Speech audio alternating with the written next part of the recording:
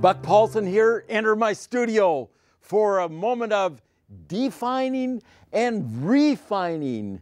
We have a small pochade on the easel, a pochade. This was done from memory. I saw, I saw it, and then I came back and did it quickly.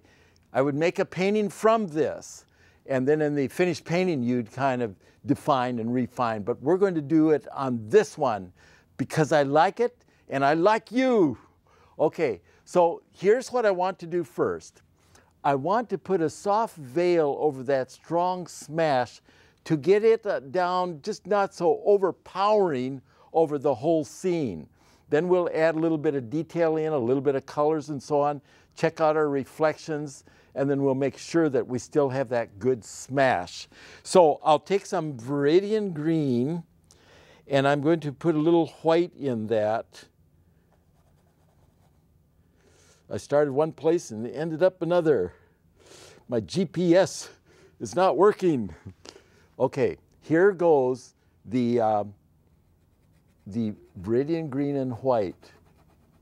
Already I'm liking what's happening because you get a glow without crudeness. Now, I'm not saying that I'm not going to put a stronger light in there. I just want the, uh, the passengers on the back seat to feel that they're important too. So some of these people, see how that looks better now when you uh, have softened that slightly?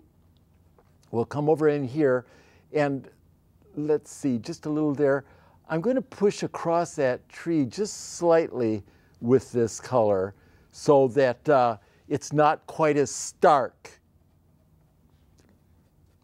Okay, now once I have that in, then I feel to emphasize this area more, which is in the path, I'll, I'll darken a little bit. But before I do that, let's take some of the same color down in the water. Your accomplice needs to be refined as well. See, what that really is refining, isn't it? Define what you're going to do and then refine. Okay, so let's do that dark down lower. And I have some uh, Viridian green and a little bit of Van Dyke brown. I'll tell you, I just love these colors. I love these colors because they are pure and rich and 99% non-toxic. And we use walnut oil, which is non-toxic. And then these paints are made up with using walnut oil. See how that does? You get that strength there. Now we'll have some more light in a minute because we need to have strength, lights, light, and then down at the edge, we, this is uh, Van Dyke brown, maybe just a little green.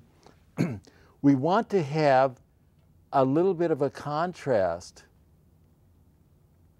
So that brings your eye, or it becomes the foundation for the, uh, the scene.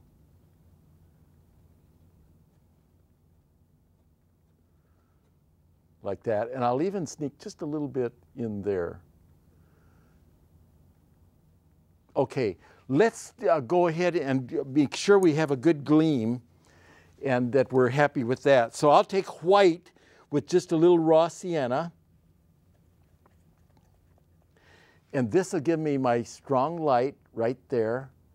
See with the, um, when we first did it, we had, we had, uh, it was very white. We have a little raw sienna in, in with it now. I'll come sharply against that side so that this side is featured more than the other one. And then we come down into the bottom area. See that path? And then we spoke about having a little bit of uh, detail there so we don't just have to jump across there. I'm going to choose just a little bit of red because this certainly is complementary with the green color. So just suggest it a little bit. And I feel, and that's good that you feel, let's put some of this, I have rows down in here, so this isn't just a solid wall. I'll take a palette knife, small palette knife, And what do I want to use? White with a little yellow ah, right in here. Oh, that's, that's strong. Oops, that's an oops. Don't do that. Put some green on it. And while I have the green on this, I'm just going to soften that a little bit because that, that needs to be a stepping stone rather than the whole house. This is the center of interest. Now I can have just kind of as a small little going away thing, let's take a little uh, Viridian green on the brush just to touch a little bit out into the openings there. And same way on this side, just slightly so it's the incidental little leaves. I hope you realized how you can take just about any painting and enhance it, define what you want, refine, and there you are. I hope you've enjoyed that. I just absolutely love to teach, and I hope it shows. See you next time. Bye bye.